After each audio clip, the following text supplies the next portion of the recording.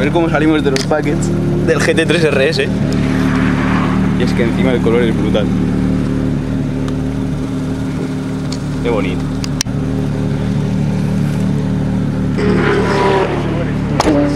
Messi, tío. Uf. Venga, dos, nen. Madre mía. Bueno, pues acabamos de entrar en pista con este GT3 RS. Y la verdad que flipa. El bicho. GT3 RS 4.0.